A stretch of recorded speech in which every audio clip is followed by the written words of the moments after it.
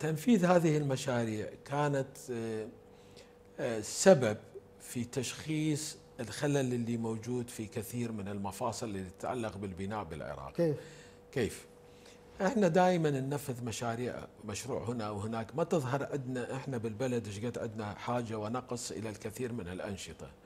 يعني يسموها الروافد الكونكريتية أو الجيردرات اللي تنحط على الدنكتين في الجسور إحنا اكتشفنا انه عندنا نقص كبير وسبب انه خلى الكثير من الشركات آه، تعيش حالة فراغ لما خططنا بشكل سليم حتى المشروع يمشي وفق الجدول الزمني. من وصلنا إلى الروافد لقينا أنه عندنا معملين أو ثلاثة ينتجون هاي الروافد وما تغطي إذا تشتغل أربع مشاريع. فكيف إذا اشتغلت أكثر من مشروع؟ مدينة بحجم بغداد لازم يكون دائما بها عمل بما لا يقل عن فد 40 50 موقع. حتى تواكب الحركة والتطوير أما إذا بدأ البناء الفعلي اللي هو على وشك بإذن الله بالمدن الجديدة فحجم النقص مهول في كل شيء من معامل الإسمنت اللي ما راح تغطي الحاجة الفعلية للبناء ما عندنا أي صناعات كل شيء نستورد إحنا. هذا السيراميك إلى المواد البناء إلى الكيبل إلى ال wire إلى مواد كهرباء إلى البوري مال ماي إلى الشبابيك إلى الأبواب كلها استيراد ما عندنا صناعة محلية.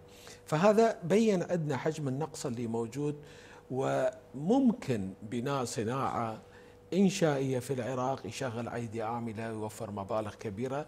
وهذا ما تبناه مكتب رئيس الوزراء مع وزارة الصناعة والعمل ماشي في دعم بناء أو أو أو إنشاء مصانع لل, لل,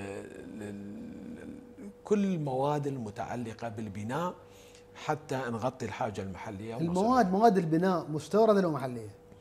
بها مستوردة وبها محلية يعني إحنا عندنا مصانع للحديد في العراق وهذه المصانع أصلا تطالب الآن الحكومة بإيقاف استيراد الحديد, الحديد لأنهم مسوين اكتفاء ذاتي.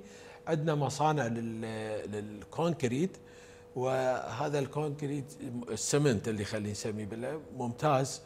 واحتاجينا نوعيات خاصة ما منتجة في الشرق الأوسط كلها. سوينا خلطات الآن مصانع عراقية تنتج هذا السمنت.